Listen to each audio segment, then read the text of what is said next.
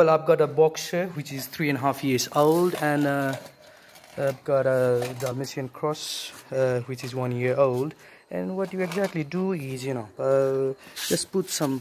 Today I cleaned it. It looks pretty clean today. Uh, well, how, I see, you know, and before a few days, look at this side. It's pretty much clean today. Exactly, you just have to do is, you know, put some water in the ear Uh, and then uh, put some water in the ear and just keep rubbing uh, with the uh, cover of the ear for two minutes. And so that it will you know get moist and uh, then um, you know the scales start breaking up. So you know and leave them.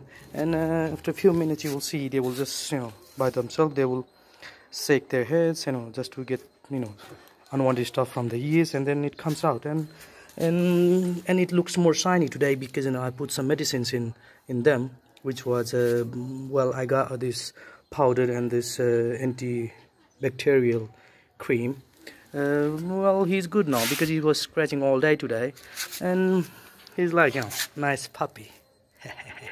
Well not puppy anymore. They can get very very serious. And I've got a gang of my Don and here is my son. Thanks guys for watching this video. Well uh, not asking for any subscription or I don't know but uh, I'm just making this video so that you know it will be easier for you guys to you know to get help to clean the dog's here. Thanks a lot guys